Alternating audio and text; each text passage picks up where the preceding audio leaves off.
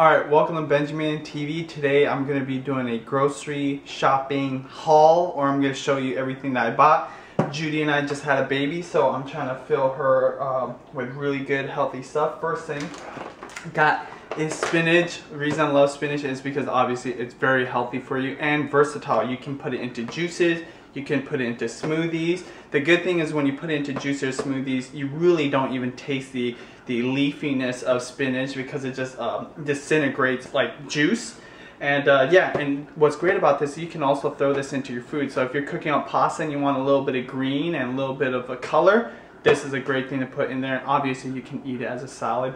Great spinach salad recipes on YouTube.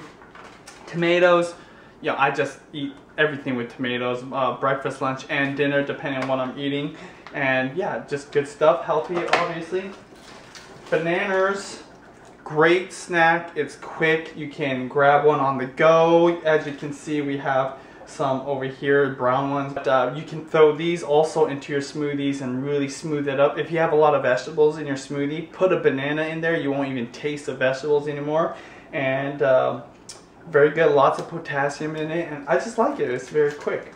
Green onions. I love green onions just for personal reasons because I, um, I put this into some of my Japanese dishes that I cook and you can garnish a lot of dishes from salads to you know maybe like a fried rice dish or any kind of meaty dish you can throw this in there and it's gonna really give you a little bit of a crunch I don't know if there's a lot of nutrients in green onions or not, but I like it. Grapes. I've been loving grapes lately. Judy loves grapes. Obviously, a very good snack. It's very high in sugar, um, but you know, fruit sugar is not really that bad for you. But uh, what I like about these lately is I throw them into my juice recipes or my uh, smoothie recipes and it gives it a tartness that you don't get from limes. Like lime is, is very sour taste, but this gives you like a sweet tardiness. Love it. Obviously you can eat it by itself. Good stuff. Limes. I usually have lemons, but they didn't have any organic lemons, so I had organic limes.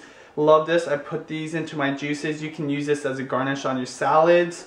Um, you can squeeze some of this into your water, give you a little bit of a flavor if you're not a big water fan, um, but you want to drink more water. So again, very good. Uh, in the skin, there's a lot of nutrients, so throw that into your smoothies as well if you um, have a blender and you do smoothies or juices. Bam! Celery. Celery is the vegetable of the winter time or the fall time, so I just bought this for the first time in a long time, haven't had celery. I'm just going to be throwing this into my uh, morning smoothies or breakfast smoothies. And um, I don't really eat these on their own unless they're ants on a log which is you take these celery sticks you put some peanut butter on it and put some raisins. I'm telling you that's good that's a good snack. Apples are best in the fall time at least here in Washington. Um, so um, they're very fresh. These haven't been frozen or put into like a refrigerator. That's a whole nother video. But these are fresh from Eastern Washington. Great source of lots of nutrients. Delicious. I put these in my smoothies. I eat them by themselves. What can I say? I bought oranges specifically because I know that oranges grow in a sunny area. And since we don't get a lot of sun here, I thought let's eat some fruits from a very sunny area or you know on something lots of vitamin C and hopefully that we can kind of gain the energy because we need it. You, you already know. Coconuts. So you see a lot of the coconut waters being sold um, today that are very popular, but I prefer right out of the coconut if you can. Um, it's you know, it's fairly expensive compared to just buying it out of the little container. But what I like about this is you get the fruit or the meat of the coconut as well as the juice.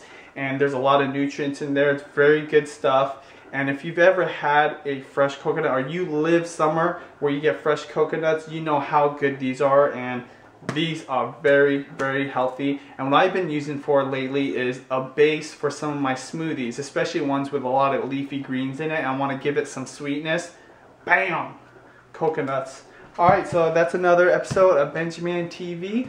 I just wanted to share with you my grocery list and all of that came out to be about 40 bucks. And remember, these things are fairly expensive and um, I buy almost all organic. If you didn't buy organic, that would be significantly less. And if you took these out of the mix, Um, I'd say you could probably get all this for like 25 bucks, maybe $22.